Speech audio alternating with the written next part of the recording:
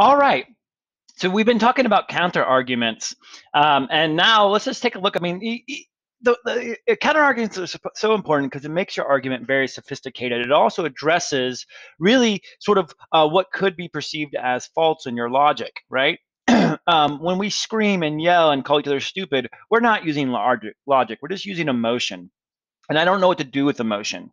Um, there's nothing to say. It's just like, okay, you're angry, and now I'm going to walk away. But when we use logic, when we say these are the reasons I think, you know, da da da da da, these are the reasons why I think uh, President Trump should be impeached, you know, and they lay them out, and these are the reasons I think they should not be impeached, then I can look at both of those and start to rationalize, okay, so these reasons are starting to outweigh these reasons, or these reasons outweigh these, right? And one of the things you can do when you're arguing is then address those issues, right? So if I was say, you know, I am for allowing students in cell phones in school, well, I already know that the school does not want them, right? I already know that the school thinks they're going to be a distraction. So I would go ahead in my argument and just say, while many believe that cell phones are a huge distraction, right? You know, and then I address that.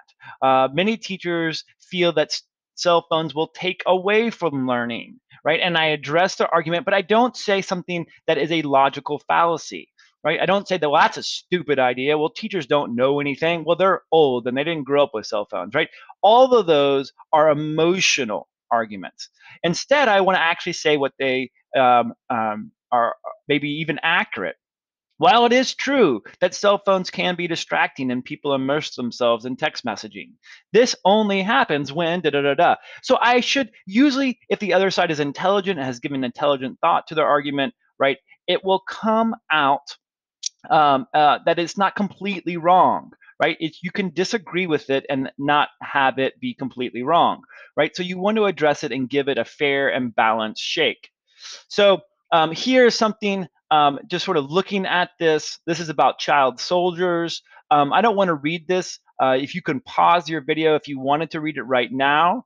But I've highlighted, underlined this before considering that evidence. However, to be fair, it would not be easy for a child to disobey or set on his own. Again, I am essentially saying in this sort of section, right, um, that uh, uh, that you know that fair and balanced that there is some truth or validity in the counter arguments right? And that's important. Um, this is what it might look like in a capstone paper. Notice i've highlighted here this it's not that you have counter arguments every paragraph right? That would be a little bit overload. Um, but in a, a, paper of this size uh, especially in your argument section there should be at least one right?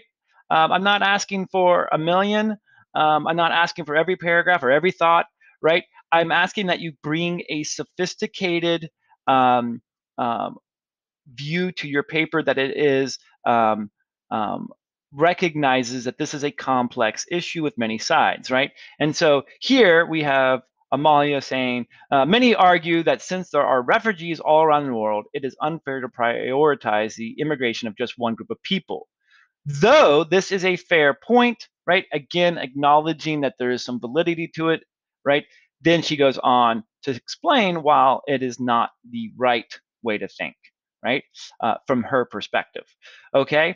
So all of that is, I mean, this is as simple as what I'm talking about, but counter arguments are a great way to make your paper that there is this conversation going on, that you are not uh, the first person to look at this issue, right? And there have been people, you know, saying this, and there have been people saying that, um, and then what is it that you are bringing? You're listening to both sides, and then you're bringing your voice to add to the conversation.